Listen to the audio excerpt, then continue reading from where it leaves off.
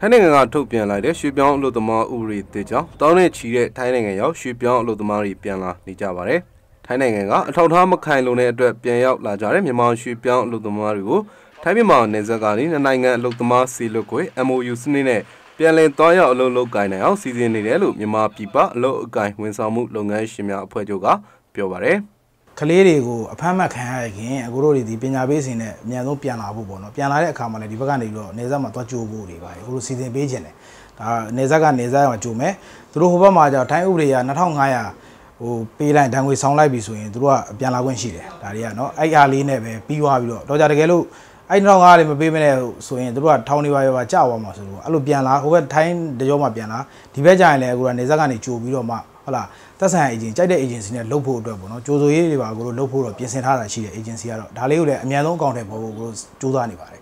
ထိုင်းနိုင်ငံကို MOU စနစ်နဲ့တွားရောက်လုပ်လုပ်ကိုင်မှုတဲ့ဝန်ဆောင်ကားအဖြစ်မြန်မာကျပ်ငွေတသိန်းခွဲကျသင့်မှာဖြစ်ပြီးထိုင်းအလို့ရှင်ဘက်ကိုထိုင်းဘတ်ငွေ1000ကျပ်ပေးသွင်းရမှာဖြစ်ပါတယ်။ဒါပေမဲ့ထိုင်းရွှေပြောင်းအလုပ်သမားဥပဒေအသေးအရ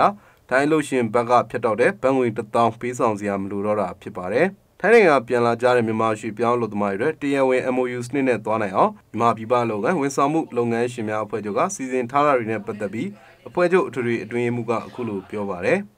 ကျွန်တော်တို့ကတော့ဘာဟို